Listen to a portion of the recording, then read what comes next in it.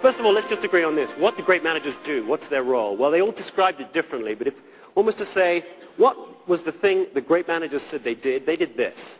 They turned talent into performance. They might have been a leader over here or an individual superstar over here. But in terms of the manager aspect of their responsibilities, they all did this.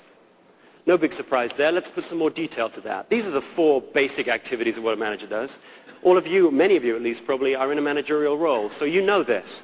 How do you select people? Set expectations, how do you motivate them, and how do you develop them? If you look at that, the first thought that might strike you is, oh, well done, Gallup, you've just discovered human resources. Um, yeah, initially it doesn't look very good, does it? It doesn't look very dramatic. But peel the onion a little bit on each one of those four activities, and you can see that all of them are a little bit more complicated than they appear. If you want to know how to select people, you need to be able to answer this question. How much of someone can you change? How much of someone can you change? What's the difference between skills and knowledge and talents and attitudes and habits and traits and drive? Which of those can you change in someone and which have to be hired in? If you can't answer that question, you can't select people. Setting expectations, that's more than just goal setting, isn't it? If you're going to be able to do that well, you need to know on which part of the jobs am I going to insist upon conformity and where will I let people use their own judgment. If you don't know how to answer that question, you're going to lurch haphazardly between too many rules and too much chaos. Motivating. As a manager, you've only got one thing to invest, your time. So where should you spend it? Should you spend most of your time working with your strugglers or your superstars? No matter who you're spending your time with, should you spend more time fixing their weaknesses or building on their strengths? Can you ever give someone too much praise? How much praise is too much praise? You can't answer those questions. You don't know how to motivate somebody. Developing.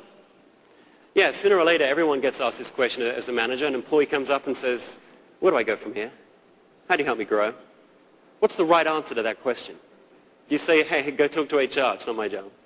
Do you say, take this training class and I'll get you promoted? What's the right answer to a front desk clerk or a housekeeper saying, how can you help me grow? Growth in the workplace is Marcus Buckingham's specialty. First, break all the rules.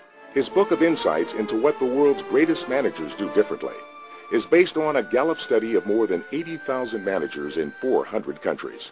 One of the best-selling business books of all time, it focuses on how to find, harness the talent of, and keep the best employees.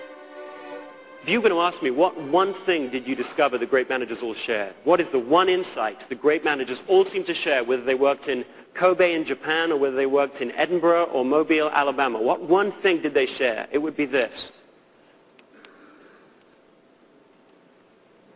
People don't change that much. People don't change that much. So therefore, as a manager, don't try and put in what was left out. Try and draw out what was left in. That's hard enough. That's the mantra that all great managers seem to share. Look, people don't change that much. Don't try and put in what was left out. Try and draw out what was left in. That's hard enough. That's a revolutionary insight. If you're not careful, you find yourself telling people that they should ignore people's weaknesses or that all training is a waste of time, neither of which, as you know, is true.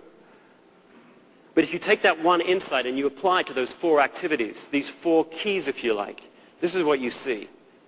They would select for talent because talent's what was left in. They would set expectations by defining the right outcomes.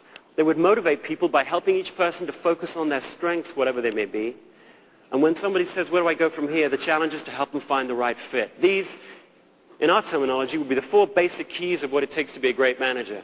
Every manager is different. But all the great ones we studied seem to